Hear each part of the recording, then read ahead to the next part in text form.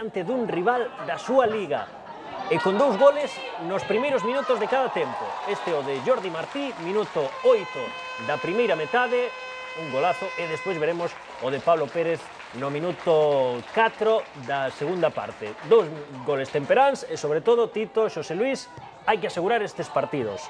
Marino, Lealtad, Sporting B, Zamora, Tropezón... Sí, Estos son os partidos da Liga dos Somozas. Indudablemente, non? Os partidos de dos equipos de baixo no que ti realmente non te xogas tres puntos, sino que son seis.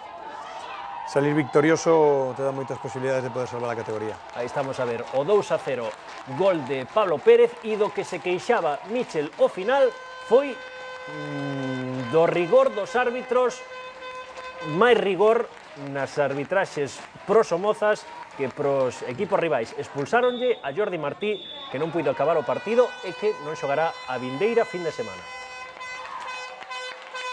Sí, a ver, de a nosotros respeto poco. No está- no nos tiene nadie. Hay gente que no sabe ni dónde son. La verdad que la expulsión y luego la de ellos, que pff, también se ve mal. Pero bueno, ya en el 90. Pero ya se ve en plan para, bueno, voy a echar a uno de cada.